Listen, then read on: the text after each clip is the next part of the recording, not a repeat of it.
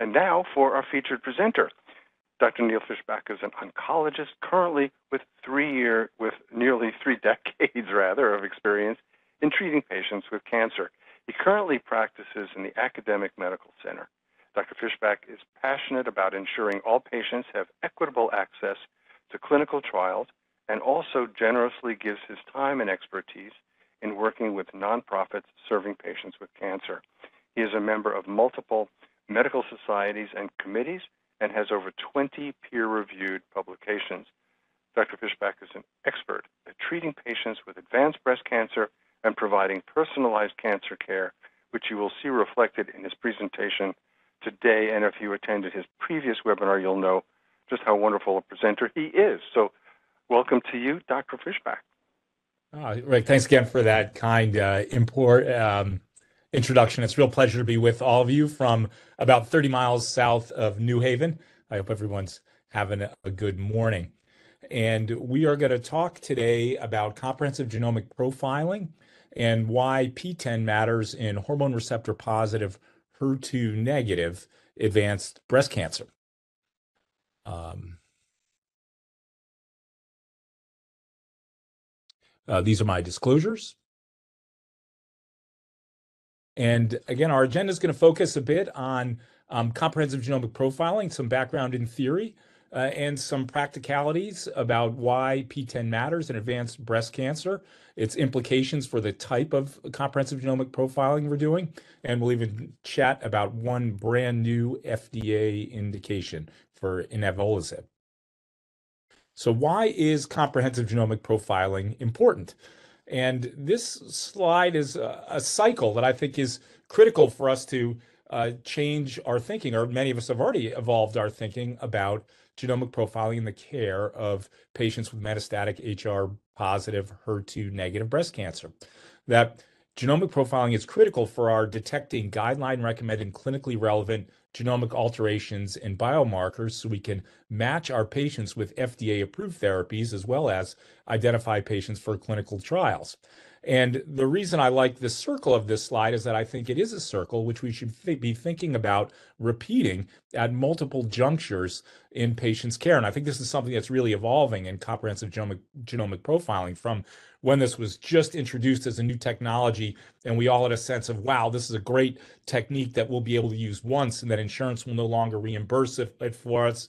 So we need to think of carefully about when do we want to use it? Do we want to use it at time of presentation first progression second progression because we can only do it once to now evolving to this is a technology that we should be thinking about probably at every uh, juncture uh, in therapy and in particular thinking about when is it appropriate for us to use tissue-based genomic profiling, and when uh, might we be able to use uh, blood-based circulating tumor DNA profiling? And we're going to start today uh, with a case study of a 38-year-old woman with estrogen receptor positive, HER2 low, uh, recurrent uh, metastatic breast cancer, a woman who'd received neoadjuvant therapy, surgery, adjuvant hormonal therapy that included a CDK4/6 inhibitor, uh, but who had recurred, unfortunately, within 12 months of finishing uh, her endocrine therapy. And now we're at a stage of trying to decide what's the most appropriate therapy for this woman. And again, uh, we have evolved uh, to a current state where comprehensive genomic profiling is appropriate. Um, there are now really three families of molecular abnormalities that we might pick up uh, at time of initial uh, diagnosis that have very relevant uh, implications. Say even more than three families. I think just germane, particularly to breast cancer specific treatment, we might pick up an ESR1 mutation. About 30% of patients with metastatic breast cancer who've received prior adjuvant endocrine therapy may have an ESR1 mutation at the time of their initial diagnosis. That may be relevant therapeutically. Uh, and more appropriately, in terms of FDA indications, uh, detecting PI3 kinase mutations uh, or AKT pathway mutations are now directly therapeutically relevant. And what we're going to talk a bit about is why tissue based genomic profiling at the time of initial diagnosis is particularly important uh, for a comprehensive assessment of PTEN um, abnormalities, particularly PTEN loss. So, At the time of initial diagnosis, it generally is not a struggle for us to get tissue because we've done a biopsy to, to confirm metastatic breast cancer. But also important to recognize that at the time of initial diagnosis, if a patient has relatively low level of metastatic disease and they may have a low rate of tumor shedding, their ctDNA tumor fraction, that's the amount of tumor related ctDNA to the total amount of circulating fluid DNA, may be less than 1%. Uh, and as we'll see in a moment, that can significantly reduce the sensitivity of molecular profiling to detect genomic abnormalities. Um, Foundation One CDX is the companion diagnostic test for capivasertib and fulvestrant for patients with uh, recurrent or metastatic hormone receptor positive HER2 negative breast cancer uh, that have AKT pathway abnormalities. Importantly, uh, in the Capitello trial, you were eligible if you had recurred within 12 months of finishing your adjuvant therapy, whether or not you had received a CDK4/6 inhibitor uh, with that adjuvant therapy. And also, as we'll see in a moment, PTEN loss is much better detected with tissue-based comprehensive genomic profiling than circulating tumor DNA. So what kinds of alterations might we pick up uh, by comprehensive genomic profiling? Uh, we can uh, detect substitutions, uh, indels, which is a amalgam of insertions and deletions, uh, copy number uh, as well as rearrangements. These are the four types of genomic um, alterations. but importantly, with um, um, gene loss, um, that can be very tricky for us to pick up uh, by blood-based uh, ctDNA profiling.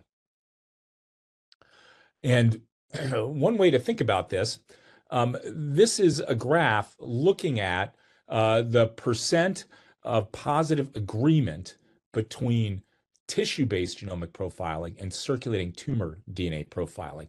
And we can see with uh, our mutations, uh, single in insertions deletions, we actually do really well uh, with uh, agreement that's well over 90%. But when we look at gene loss, uh, the agreement is uh, much lower between um, circulating tumor DNA and tissue-based uh, testing. Um, and that, again, is demonstrated here where we're segregating these results by the tumor fraction. So again, on our last webinar, we reviewed the importance of recognizing what the tumor fraction in your specimen is. That's the amount of circulating tumor DNA divided by the total amount of circulating fluid DNA, tumor DNA plus normal DNA. And when that fraction is low, uh, we get less confident in the results of our um, circulating tumor DNA analysis. But less confident, what I mean is if you have a positive, you've detected an insertion, deletion, uh, or a copy number or, or a single mutation, you can be really confident that's present in the tumor DNA. But if you don't have a molecular abnormality, um, that that's what's called a uh, ambiguous uh, negative or an uninformative negative, and you really want to consider tissue-based testing in that uh, situation. And here on the bottom is is a really, I think, uh, uh, instructive uh, graph of what what do we think about if our tissue fraction is less than 1%? Well, we see that the detection level in circulating tumor DNA decreases to around 40, 50% at best in these low uh, tumor fraction um, samples. So again, if you detect an abnormality, that's a meaningful positive. But in these specimens with tumor fraction less than 1%, if you do not detect, uh, that is really an, an ambiguous negative, and we ought to consider uh, testing uh, tissue. And, and this is particularly prominent with, with gene loss, in this case PTEN loss, or zero out of 19 uh, concordance from circulating uh, tissue tumor DNA uh, from tissue-based testing. This is another graphic way to look at that and thinking about what circulating tumor DNA tumor fraction do we need to achieve high levels of sensitivity for abnormalities. So for our base substitutions, our indels, fusions to detect MSI high status, uh, TMB high, we can see that with relatively low amounts of circulating tumor DNA tissue fraction, we can detect uh, these types of abnormalities. but especially when we get down to thinking about gene loss, and in the case we're thinking about PTEN loss, uh, really even with significantly higher fractions of um, circulating tumor DNA, we still might miss uh, that very meaningful abnormality uh, on a circulating uh, tumor DNA analysis. And um, uh, this is uh, also meaningful that uh, PTEN loss is not a rare problem. Uh, up to 6% roughly of patients uh, will have detectable uh, PTEN loss uh, on tissue at third line of therapy. So this is not really zebra we're looking for. It's a meaningful abnormality and uh, worthy of our uh, really making an effort to get tissue-based testing at some point in therapy, and I would advocate that with first diagnosis of metastatic disease is a real opportune time to do that. Uh, this patient did have tissue-based test, and they were positive for PTEN loss, and they had no other no the other mutations there, ESR1 and other AKT pathway um, uh, mediators were wild type. And so this patient went on to receive uh, endocrine therapy uh, with uh, capivasertib uh, as first line therapy. Uh, and this is data from the Capitello trial, which shows the dramatic impact uh, of that treatment on progression free survival, nearly double when appropriate targeted therapy was instituted.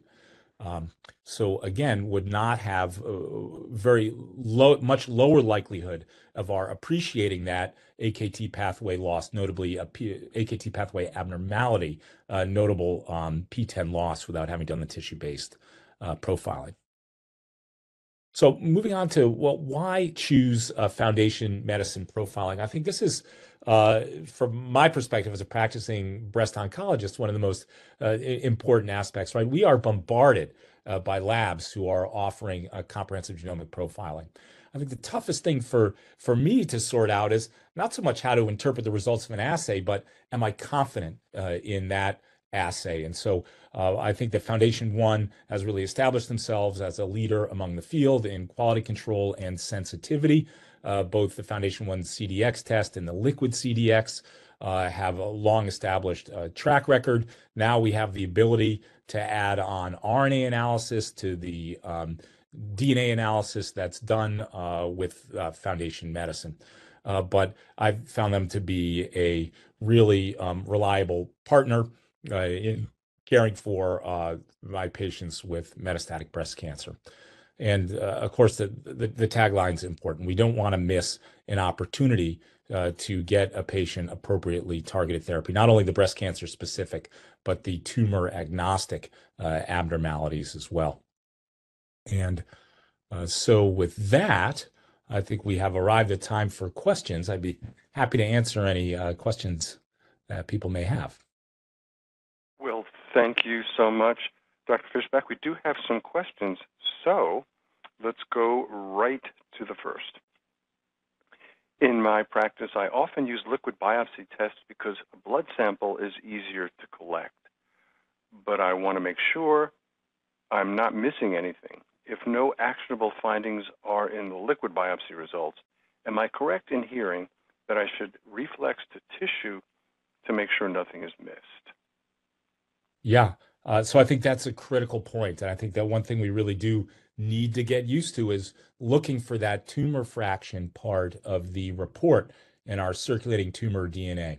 Uh, another really, I think, important thing to emphasize is that the time of very first diagnosis or at some point, um, tissue based testing, if we can safely obtain it, uh, is important, particularly for PTEN loss, because that's something, even if your tumor fraction on a circulating tumor DNA assay is over 1%, uh, there's still a lot of PTEN loss that you might miss. And that's an abnormality that occurs with a, with a meaningful frequency of about 6%. Um, so I think trying to uh, get tissue, if it can be safely done, uh, at time of initial diagnosis with uh, metastatic disease, I think it's a, it's a good way to do the algorithm. I've previously shared that in patients presenting in a semi-crisis situation where we're even still waiting for the diagnosis, is it breast cancer or not breast cancer? Uh, I will often send both uh, I will send a circulating tumor DNA from the office when I see them the first time. And while I'm trying to arrange a tissue biopsy, uh, get the biopsy done, and then wait that slightly longer amount of time. Importantly, the turnaround time in the lab for circulating tumor DNA uh, and tissue-based CGP is quite similar. Uh, but the real lag is getting biopsy done and getting tissue to Foundation Medicine. And so it, generally in the time that it's taken for all that to happen, I already have uh, the um, ctDNA analysis back and can be making um, relevant decisions uh, about therapy. So I think that uh, in many situations, even doing both simultaneously is appropriate. Got it. Thank you. Uh, I assume that it is better to tissue test the biopsy of a metastasis rather than the initial diagnosis biopsy if both are available. What if that yeah. result differs from the initial biopsy? Yes. So I think that's an important point. Yes, uh, there can be some discordance between the primary tumor and the metastasis. That also is very true of um, estrogen, progesterone, and HER2 receptor status. So, for those two critical reasons, uh, ideally we would perform molecular profiling uh, on the site of metastasis. If the site of metastasis, though, cannot be obtained, um, I think it is um, reasonable uh, in certain circumstances to uh, test the original tumor tissue. Again, that is um, suboptimal, and I would always strive to do the um, the metastatic site. Wonderful. Another good question coming up: Can archival material be tested, and how many years later is archival material still usable? Uh, yeah. So uh, the answer is yes, it can be uh, tested.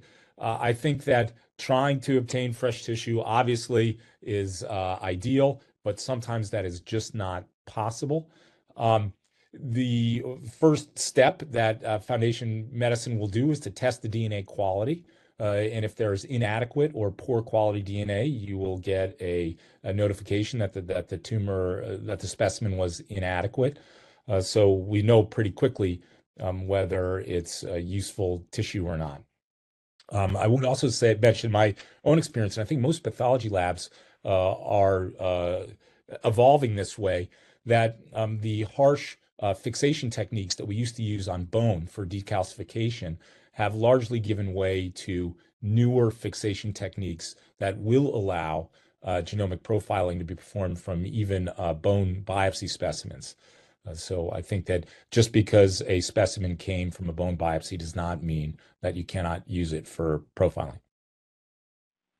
Excellent and uh, very appropriate because the question just came in. Can you please define how bone specimens should be prepared by the pathologist in bone-only diseases? Yeah. Um, so I, I think currently now the um, labs are using formic acid or EDTA decalcification techniques, which are much friendlier uh, to DNA. Uh, and uh, again, whether or not I actually have not been in, at, at our institution the process of pre-specifying it's a bone biopsy coming and I want to do CGP, so be gentle with it. I think they have their own internal algorithms now for for doing this, assuming that uh, CGP is going to be a priority on uh, all biopsies uh, that they're getting. Okay, wonderful. a couple more questions here. Uh, is the new drug inavolisib, I'm hoping I'm pronouncing that correctly. Yeah, that's approved? fantastic. Oh, thank you. Well, it's a new drug, so I was just thinking. Yes.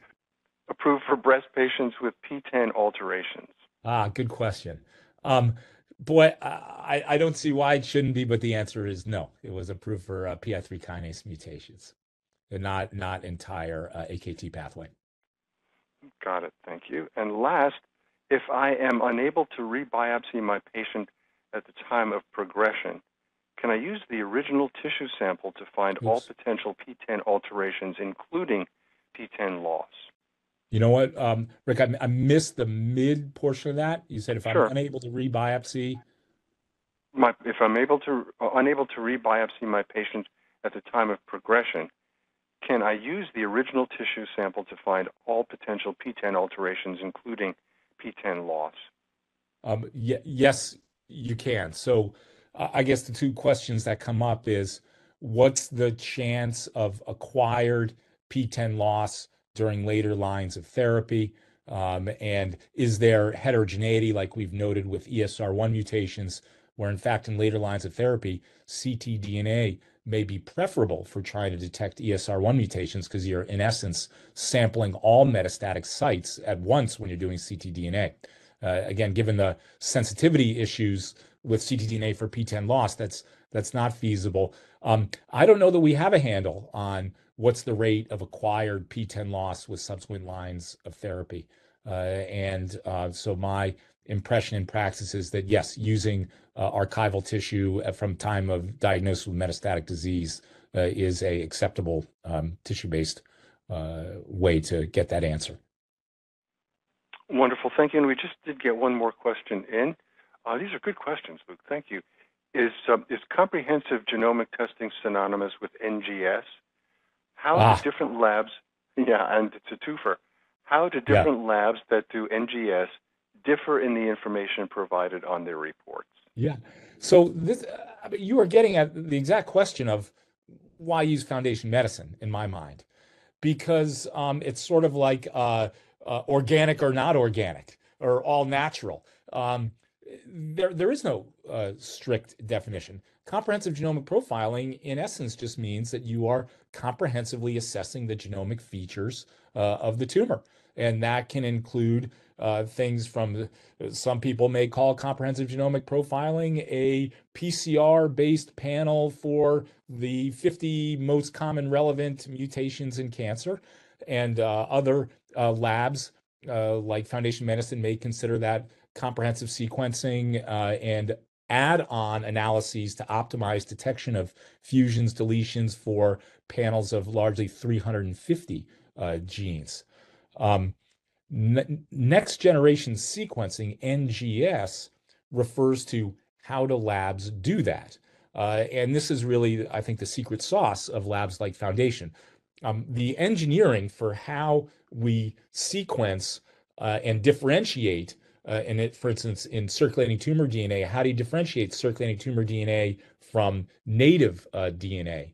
How many reads do you get through a given gene, which increases confidence in results? These can really vary from lab to lab.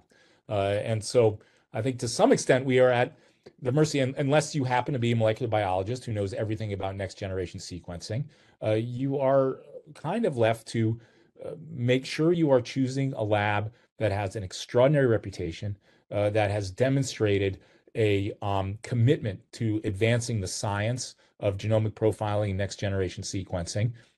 And I think that gets uh, to a pretty short list uh, of companies, which, from my own personal preference, uh, is uh, FMI. Wow, thank you so much for all of this great information and great answers to these very good questions, everyone. Thank you for those oh, great questions.